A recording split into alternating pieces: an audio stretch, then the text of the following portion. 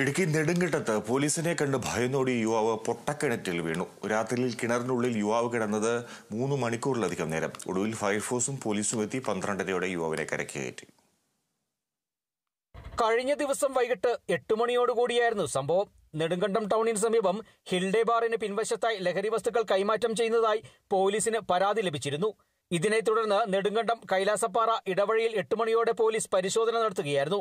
ഇതിനിടയിൽ ബൈക്കിലെത്തിയ യുവാക്കൾ പോലീസിനെ കണ്ട് വാഹനം നിർത്തി.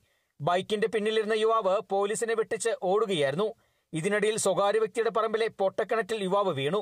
പോലീസും നാട്ടുകാരും ചേർന്ന് മേഖലയിലാകെ തിരച്ചിൽ നടത്തിയെങ്കിലും യുവാവ് കിണറ്റിലെ ഓസിൽ പിടിച്ചു കിടന്നു. പോലീസ് ഒരു മണിക്കൂറോളം തിരച്ചിൽ നടത്തിയ ശേഷം മേഖലയിൽ നിന്ന് പോയി.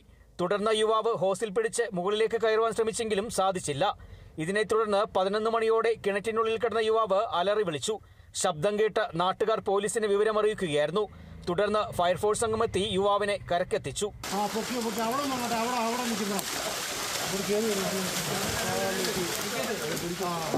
കയ്യാ പിടിച്ചോ. വലിച്ചു അങ്ങോട്ട് പോയി.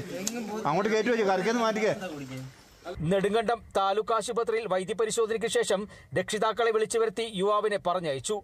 മേഖലയിൽ ലഹരി വസ്തുക്കളുടെ കൈമാറ്റവും ഉപയോഗവും വ്യാപകമാണെന്ന് നാട്ടുകാർ പറയുന്നു. വൈകുന്നേരങ്ങളിൽ ബൈക്കിലെത്തുന്ന യുവാക്കളാണ് നാട്ടുകാർക്ക് തലവേദനയാകുന്നത്. ഇടവഴികളിലൂടെ അമിത വേഗത്തിൽ ബൈക്ക് ഓടിച്ചു പോകുന്നത് നാട്ടുകാരുടെ ജീവന ഭീഷണിയാണെന്നും പരാതി ഉയർന്നിട്ടുണ്ട്. Kerala vision news Idukki.